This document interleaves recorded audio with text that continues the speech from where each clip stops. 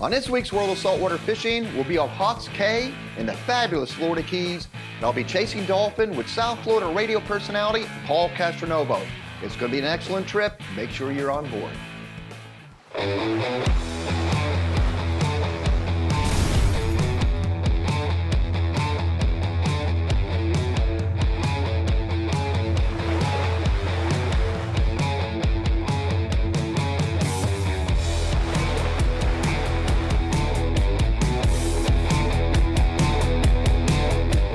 George Poveromo's World of Saltwater Fishing, where big fish don't stand a chance.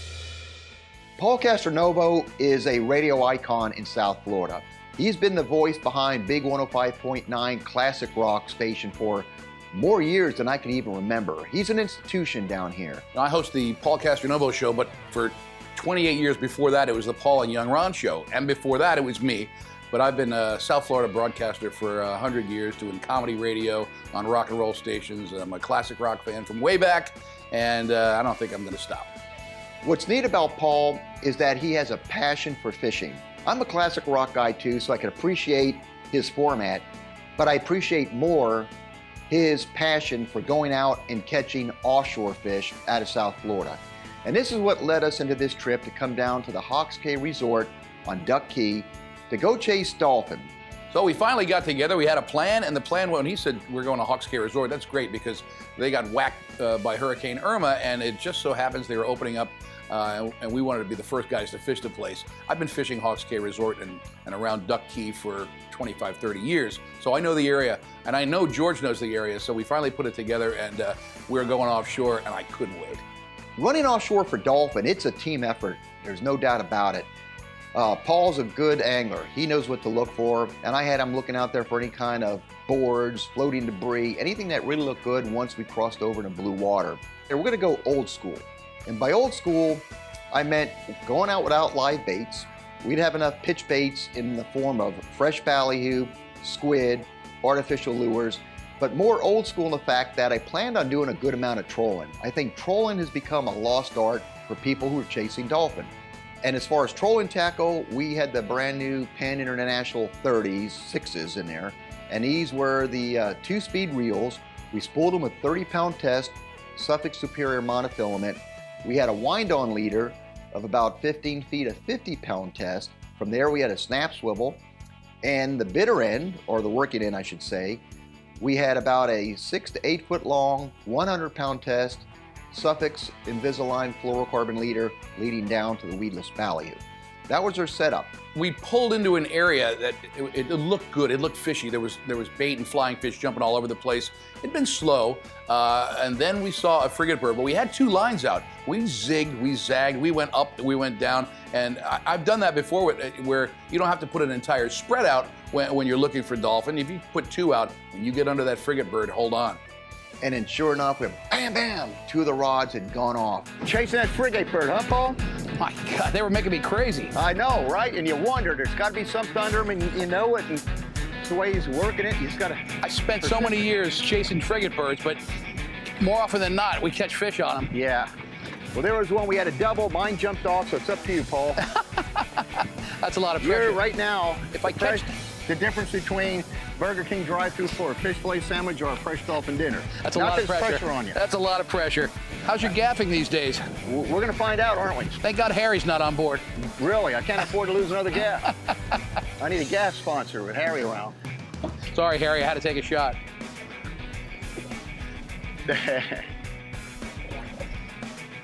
And I've, uh, I've got a bait ready. If we have a follower on yours, I'm sitting here with a uh, bally. I've got that uh, Oh, are we keeping one eye? Are we keeping one eye on that frigate? Oh yeah, one eye on you. Top one, Paul. Yes, he is.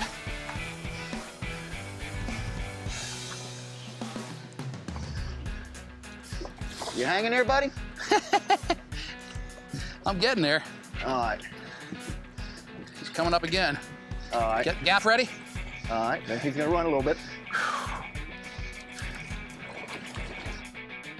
All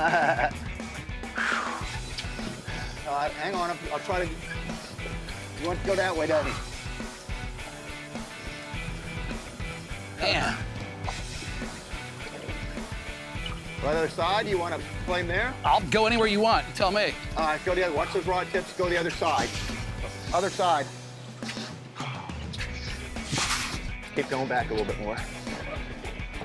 We got him. Oh, woo! All right. Paul Castronovo, man, you can do it up big time, can't you? My first fish on the mark, six. Yes, it is, and a Oh. beautiful bull dolphin at that.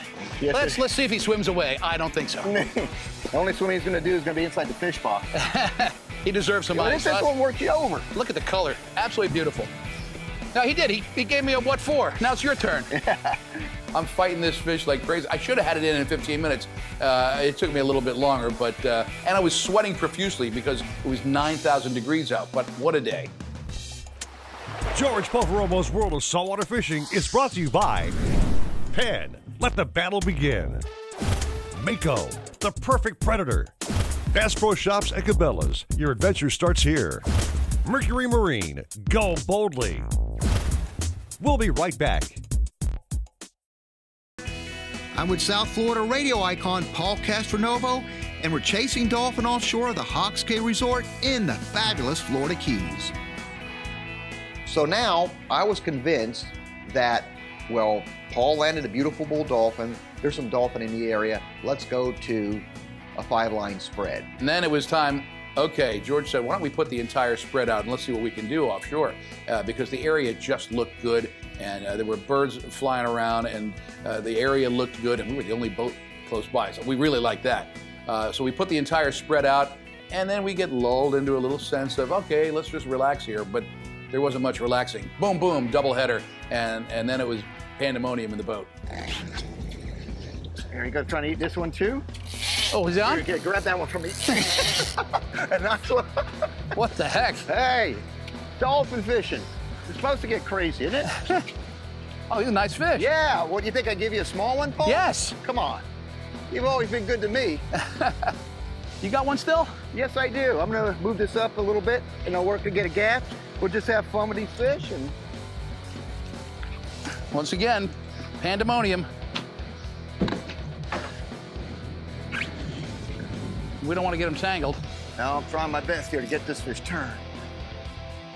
Coming on the outboards. You gonna flip yours? Ah, no. No, he needs a gaff, this one. Here he is, right here. All right, nice one. You want to pop him? I might pop him. Hang on to yours. He doesn't trust me. Here, go ahead. Put yours in the rod holder. Just to show you I trust you. I've seen people let you down in the past. No, go for it. I'll bring it right up to you. Hang on. Oh, he's ready to go. All right, George. You didn't let me down. Go get yours. I'll help you. I'll get yours here in a second. Okay, Paul. I'm gonna return the favor. I think this one's bigger. According if to it's you, you not? wouldn't have it any other way. Yeah. Whoa, whoa, whoa. Stop going by the motor. Rod down and pull them that way. There Don't move the bosses. There he There, comes. you have a beautiful fish. That you do. Hold on. There he comes. Boom! Nice gaff. Yes! Two to one. Beautiful fish. Oh, be careful. Yeah, I was trying to. There we go, clear. All right, Paul. Oh, nice job. Do I get that fish box behind me? Yeah, good idea. I'll hold him here because he's gonna go nuts. After my professional gaffing prowess was displayed, I think George had a newfound respect for me. And I seemed to catch bigger fish than him. I don't know why. But once we got George's fish in the boat, it was my turn to catch the fish. I think it might have been a little bigger. Uh, I don't, we didn't have money on it, but boy, we should have. But now we got a nice fish box, and it's gravy time. As fishermen, we wanted to keep going. We figured, hey, if they're out here, let's fish. And boom, another dolphin hits. They messed up your whole spread. That's okay. For this, we'll take it. And now you notice all the thick, scattered weeds are coming through. It's one of those weedless ballyhoo are doing their job. They really are. Very impressed. All right, you were so good that one time on the gaff, I might have employ your duties again. I'm gonna wait. Okay. He's way out there. I don't want to jinx it. Things turned on. I know, and it's hard to believe they don't have any companions with them.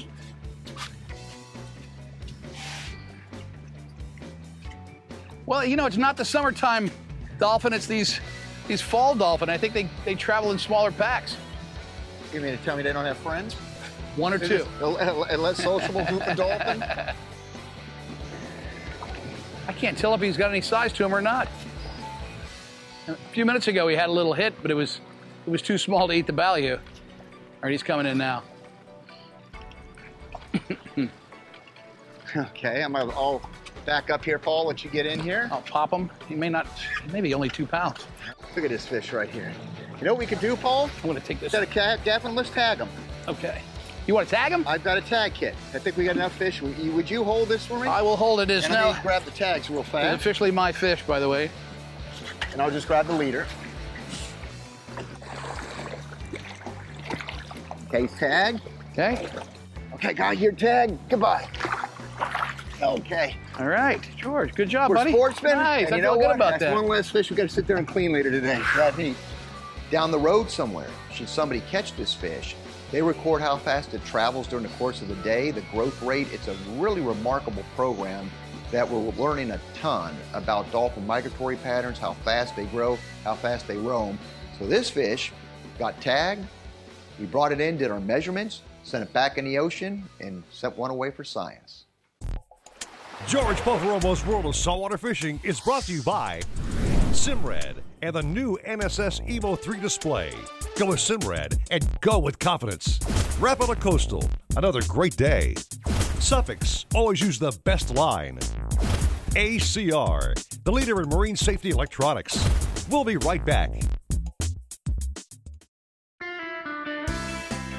It's the morning of our second day of fishing out of the Hawks Cay Resort in the Florida Keys. I'm chasing dolphin with South Florida radio personality Paul Castronovo.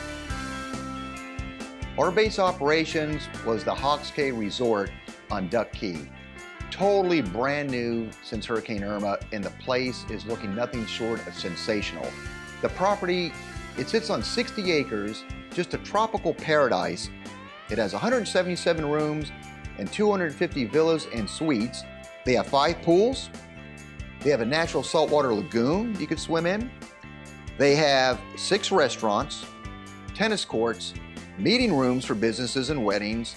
Everything is right here. Ice, fuel, a very complete marina. And if you do stay in the villas, I highly encourage you to dock your boat right behind that for the convenience factor in itself.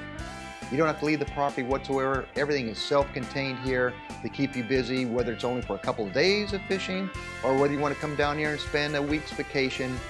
Definitely check it out and you will not be disappointed. Beautiful place and I will certainly return to it.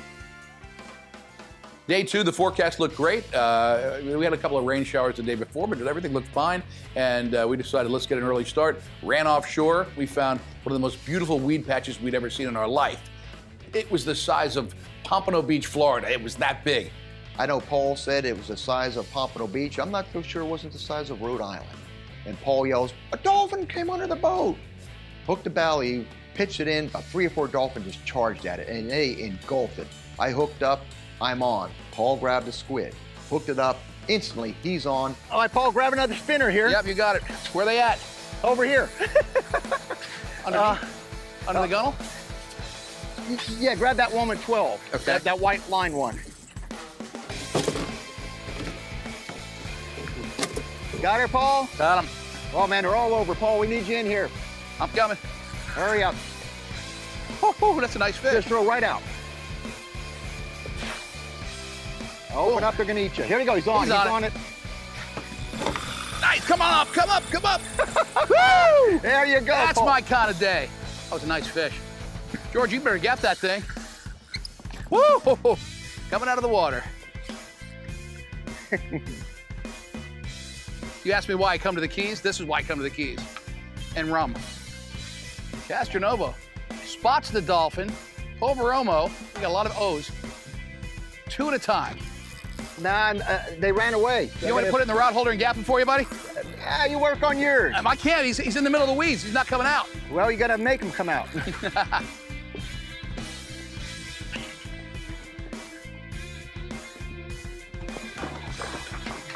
Nice job, buddy. I'm coming after you, Paul. Come on. I'm walking mine in the fish box.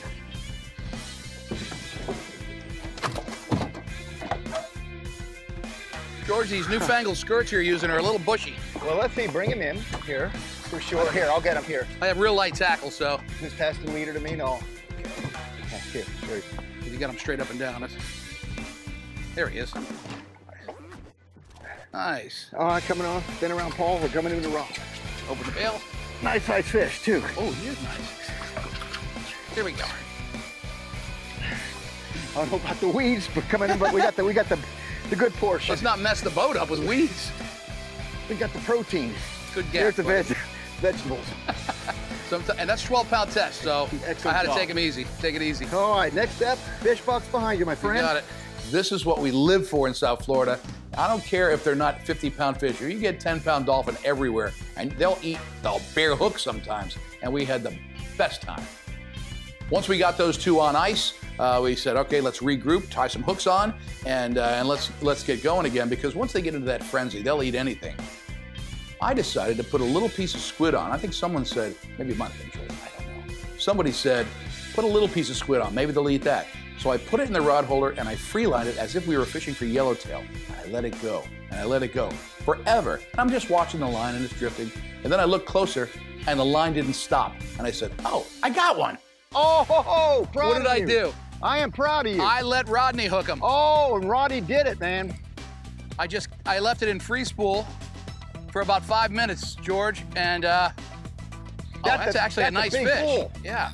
Awesome bull. Oh, beautiful. Now let's just try to keep him Now, out of the 12 weeds. pound test, my friend. And he's putting on an aerial display, which I like. I love fishing light spinning gear. There's nothing like it. Especially when you get a fish like dolphin, like the size that you have. They put on a show. They're colorful, and the grill likes them. Grill does like it. All right, just remember, he's still green, so Yeah, um, yeah, and you got 12 pound line. He's gonna leave. Oh, nice fish. Just remember, Paul, it looks About like about 40 feet, 50 feet away in a green dolphin. You're that far away from Yeah. a full Florin coat. Back at the dock. Back at the dock. We had to dock the boat first. Oh, there he goes. He's coming up. Oh, what a jump!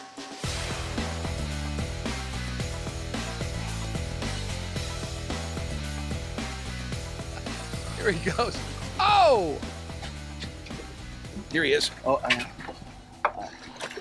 Nice and easy, Paul. Nice and easy. Just take it. I'm not ready for him yet. Not really good.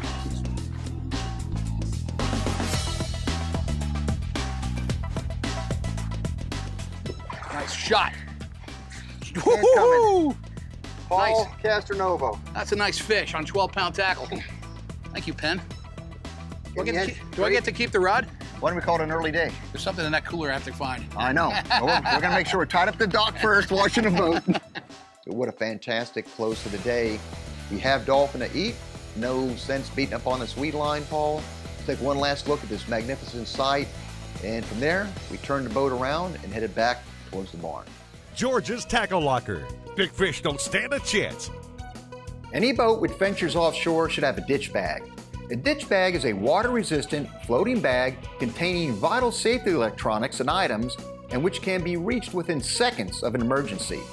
Aboard the Mark VI, for example, I have the ACR Global Fix V4 EPIRB Survival Kit. The highly visible rapid ditch bag contains my Global Fix EPIRB, which, when activated, sends my GPS coordinates to satellites, which, in turn, transmits them to local search and rescue forces. This GPS has a lifespan of approximately 48 hours. There's also an ACR Rescue Link personal locator beacon. This performs basically the same as the larger EPIRB, with the exception that it must be held above the water and has a lifespan of approximately 24 hours. Also included is an ACR Firefly Pro water bug, hotshot signal mirror with rescue whistle, and a Hemi light. I also took the liberty to add flares to the bag. My ACR Rapid Ditch Bag is always kept just inside my console door. Mercury Performance Stats Hawks Cay Florida Keys offshore. Seas 3 to 5 feet. Power triple 350 horsepower Mercury Verado outboards. Props Mercury Enertia Eco 21 inch pitch, 22 inch, and 21 inch pitches. Assistant cruise 3,600 RPM. Speed 38 miles per hour. Total miles traveled 132. Total fuel burn 120 gallons. George Poveromo's World of Saltwater Fishing is brought to you by Starbright, professional grade boat care products. The Florida Keys and Key West, come as you are. Papa's Pilar Artesian Crafted Rum, never a spectator.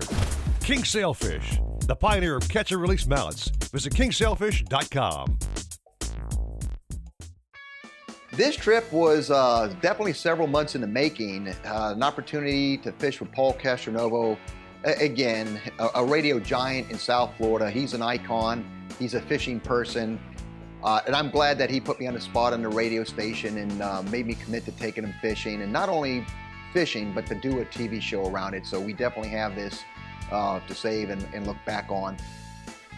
Uh, George is like a Kardashian at my house. He's more famous than anybody. I don't want everyone to know that, but my son and I watch it religiously. So uh, for me to fish on the Mark Six, my kid's off in college, and he's texting me, "Dad, how's the boat? How's the boat?" Well, I'll tell you how the boat is. It's phenomenal, really is. We has some beautiful weather, but there were some patches where the currents were.